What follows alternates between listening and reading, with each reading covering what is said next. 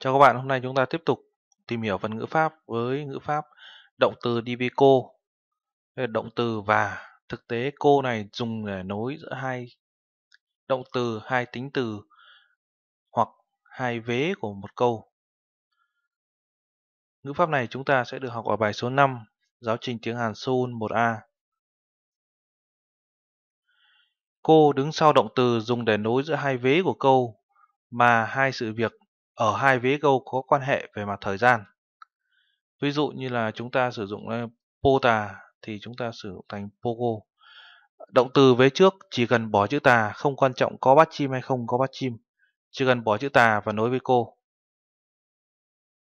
Ví dụ, televisionen pogo, sukcheren hiểu.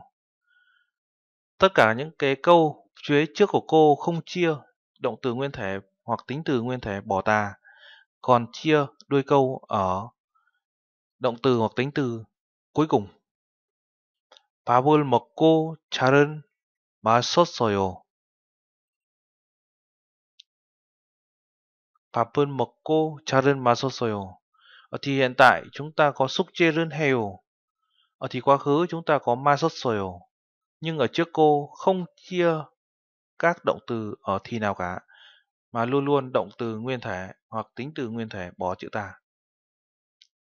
Không chia thì quá khứ ở mệnh đề trước cô, biểu hiện chỉ xuất hiện ở mệnh đề thứ hai sau cô.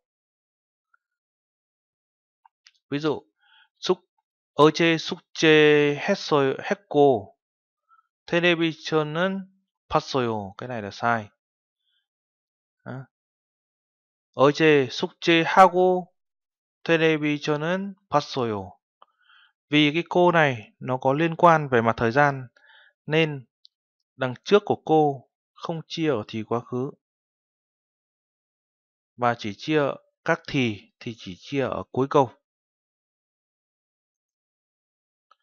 Khi chủ ngữ của cả hai mệnh đề là một thì có thể giản lược chủ ngữ ở mệnh đề thứ hai.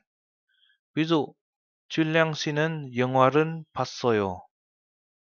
춘량 씨는 쇼핑했어요.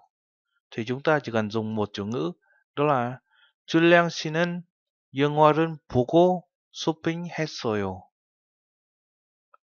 Khi thay đổi vị trí hai mệnh đề thì ý nghĩa của câu cũng sẽ thay đổi.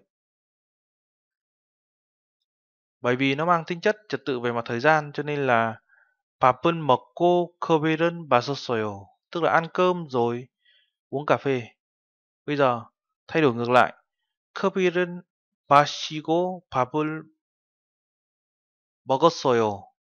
Thì đây là uh, uống cà phê rồi mới đã ăn cơm. Chú ý không viết như ví dụ dưới đây. 영화를 보고, 파고. Tức đằng trước nó không chia gì cả cho nên chúng ta sử dụng là 보고. Cái này tương tự 운동 하고 커피를 마시고 Nếu các bạn thấy hay và ý nghĩa, hãy đăng ký kênh để liên tục cập nhật các video mới và chia sẻ cho các thành viên khác để ai cũng giỏi tiếng Hàn nhé. Ngoài ra, các bạn có thể vào trang web du học việt mỹ.vn hoặc seoul.edu.vn để tìm thêm một số tin tức bổ ích cho mình và người thân về các chương trình đầy ý nghĩa.